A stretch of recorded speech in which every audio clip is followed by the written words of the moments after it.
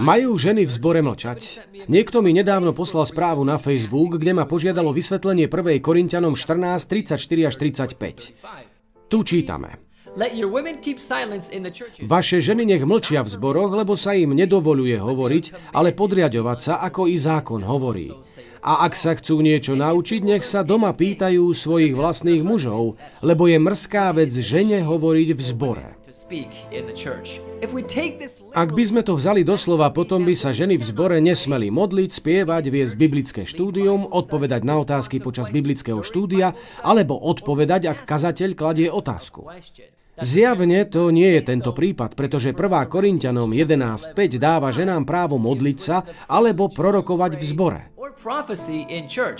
Tu sa hovorí, a každá žena, keď sa modlí alebo keď prorokuje s nepokrytou hlavou, hanobí svoju hlavu, lebo je to jedno a to isté, ako keby sa bola oholila. Ak sa pozriete na verše 17 a 18, je jasné, že je to v kontexte zboru. Tam sa uvádza. Ale toto prikazujúc, nechválim vás, že sa schádzate nie na lepšie, ale na horšie. Lebo predovšetkým, keď sa schádzate v zbore, počujem, že sú medzi vami roztržky a čiastočne tomu aj verím. V 1. Korintianom 11. kapitole Pavol rieši niekoľko otázok týkajúcich sa cirkvy. Preto 1. Korintianom 14, 34 až 35 by sa nemala brať doslovne. Existuje preto aj iné vysvetlenie, o ktorom budeme diskutovať zakrátko.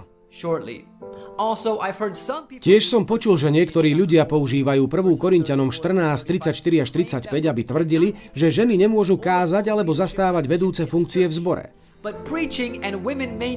Ale tu nejde o kázanie a zastávanie vedúcich pozícií, tu ide o vysporiadanie sa s rušivými poznámkami. Zdá sa, že niektoré ženy hovorili spôsobom, ktorý znevažoval autoritu ich učiteľa a rušil zbor. V dobách Nového zákona bolo pre študentov nezdvorilé, aby prerušovali svojich učiteľov. Najmä ak kládli kontroverzné alebo bojovné otázky a narušovali proces učenia. To môže byť dôvod, prečo boli ženy poučené, aby sa zdržali takýchto poznámok, dokiaľ neprídu domov, kde im ich manželia môžu odpovedať. Nehovoriac o tom, že byť ticho nie je to isté ako mlčať. Ženy v 1. Korintianom 14, 34 až 35 neboli poučované, aby zostali v zbore po celý čas bez slova. Ich tichosť skôr odkazovala na vyhýbanie sa škriepkam a rušivým poznámkam, ktoré narušovali poriadok v zborovej bohoslužbe. Je to ako keď sa hádate so svojimi deťmi a poviete im, aby mlčali alebo boli ticho tak, aby sa s vami prestali hádať. A dôvod, prečo sa tu Pavol konkrétne zameral na niektoré ženy, je možno ten, že sa stali cieľom falošných učiteľov a spôsobovali rozdelenie v zbore. V súvislosti s falošnými učiteľmi, ktorí balamutili niektoré ženy, sa v 2. Timoteovi 3, 6 až 7 hovorí. Lebo z tých sú tí, ktorí vnikajú do domov a zajímajú ľahkoverné ženy, obťažené hromadou hriechov, vedené rozličnými žiadosťami, ktoré sa vždycky učia, ale nikdy nemôžu prísť k poznaniu pravdy. Je možné, že tieto ženy opakovali falošné učenia, ktoré sa naučili rušivým spôsobom a spôsobovali v zbore zmetok a neporiadok. Navyše zbor v Korinte bol notorický, neukáznený a rozvratnícky. Pavlov pokyn pre ženy v 1. Korintianom 14 bol záležitosťou reformy zboru s cieľom obnoviť poriadok a harmóniu. Toto dokazuje 1. Korintianom 14.33, kde sa hovorí, lebo Boh nie je Bohom neporiadku, ale pokoja, ako vo všetkých zboroch svetých. A v 1. Korintianom 11.18 čítame. Lebo predovšetkým, keď sa schádzate v zbore, počujem, že sú medzi vami roztržky a čiastočne tomu aj verím.